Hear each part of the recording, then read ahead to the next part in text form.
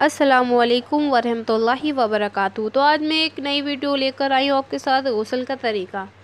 गसल मीज़ नहाना आप सब जानते ही होंगे। तो गसल का तरीका क्या है वो अब मैं आपको इस वीडियो में बताऊँगी। गसल करने का तरीका है कि सबसे पहले हमें दिल में नियत करनी है, नहाने का इरादा करना है कि हम गसल करने जा रहे हैं। दिल में पक्का इरादा कर लें और पहले तीन मरतबा गट्टों तक हाथ धोएँ। तीन मरतबा धोए, फिर इस्तिंजा की जगह धोए। ख्वा निजात लगी हो या ना लगी हो। फिर बदन पर अगर कहीं निजात लगी हो तो उसको भी धोएँ। इसके बाद वज़ू करें और कुल्ली करने और नाक नाक में पानी चढ़ाने और खूब मुबालगा करें।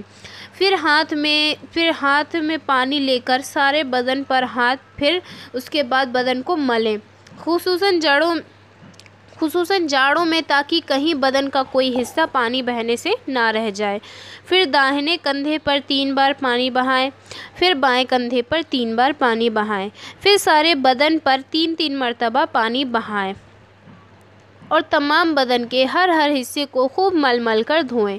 और अच्छी तरह ध्यान रखें कि कहीं ज़र्रा बराबर भी कोई खाल या रोंगटा या बाल पानी बहने से ना रह जाए। बहुत से लोग ऐसा करते हैं कि नजिस तहबंद बाँध कर गसल करते हैं और ये ख्याल करते हैं कि नहाने से नापाक तहबंद और बदन सब पाक हो जाएगा। हालाँकि ऐसा नहीं है, बल्कि पानी डालकर तहबंद और बदन पर हाथ फिराने से तहबंद की निजात और ज़्यादा फैलती है और सारे बदन को हालाँकि जिस बर्तन, जिस पानी से हम गसल कर रहे हैं, उस बर्तन को भी वो नजिस कर देती है, वो नजिस वो वो तहबंद जिसमें निजात लगी होती है। तो हमको चाहिए कि पहले हम उस नजिस तहबंद को धोकर अलग कर दें, फिर हम नहाएँ, उसको पहन कर नहीं नहाएँ, नहीं तो उसकी निजात क्या है ना, और फैलेगी, हमारे पूरे बदन में फैल जाएगी, और ऐसा करने से गसल नहीं होगा। इस तरह से जिस तरह जिन चीज़ों को छुएगा, वो भी नापाक हो जाएँगी और सारा बदन और तहबंद भी नापाक ही रह जाएगा।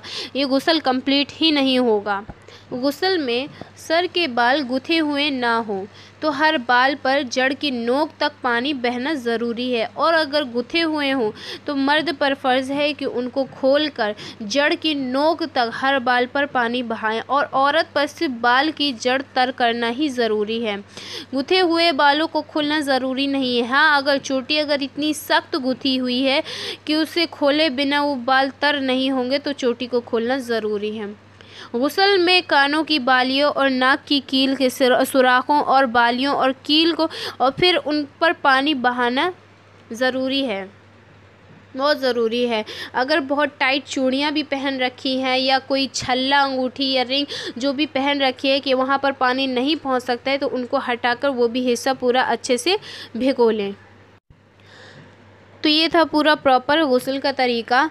उम्मीद है आपको ये गुसल का तरीका समझ में आया होगा। अगर आप अगर आप इसी तरीके से गुसल करते हैं तो सही है और अगर आप इसी तरीके से गुसल नहीं करते हैं तो इस तरीक़ों को अपनाएँ और मेरी वीडियो को लाइक कीजिए, चैनल को सब्सक्राइब कीजिए। इन मिलते हैं दूसरी जल्दी दूसरी वीडियो में। तब तक के लिए खुदा हाफिज़।